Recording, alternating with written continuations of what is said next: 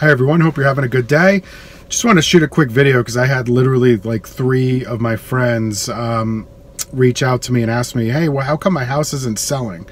Uh, these aren't houses that I'm listing for them. These are just houses that they've put up for sale with somebody else or and whatnot, and they asked me to take a look. So first and foremost, if you are thinking about selling, reach out to me first. If it's in one of the markets that I operate in, I can directly help you myself, whether it's New Jersey, Arizona, San Diego. We'll take great care of you. If it's in another market, anywhere in the country, I have a referral partner who is going to be an absolute amazing fit for you.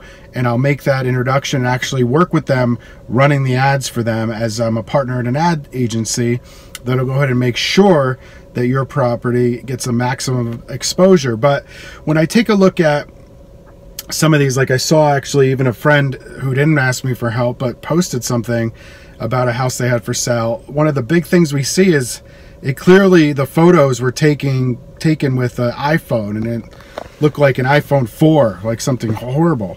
Um, that's not how you market a house. I don't care what condition the house is in.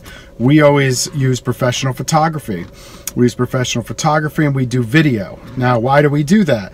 Number one, professional photography makes the house look a hundred times better.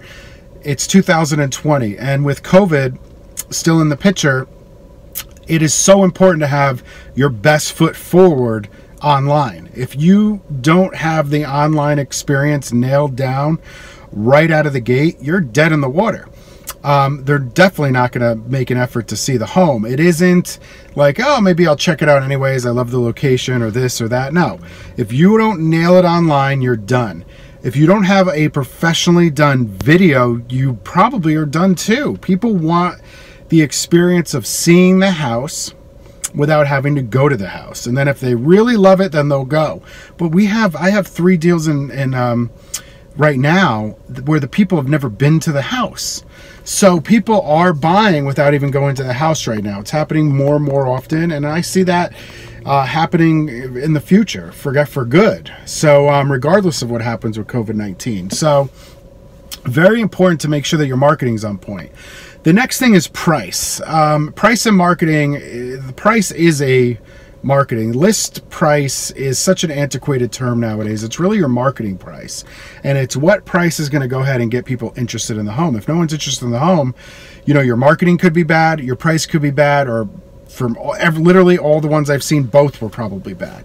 But um, you have to nail them both for this whole thing to work. And if it works and you have it dialed in, you should be getting multiple offers right now as interest rates are low and buyers are out there.